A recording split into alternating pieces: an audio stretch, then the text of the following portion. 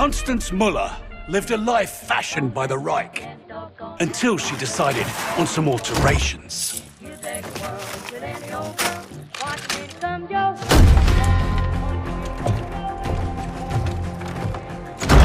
You can't change your past, but you can choose how it molds you.